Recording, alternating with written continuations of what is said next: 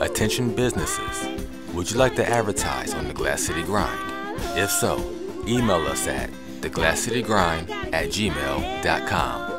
The Glass City Grind is a morning television talk show helping you to start your day with positive, fun, and enlightening stories in Northwest Ohio and Southeast Michigan.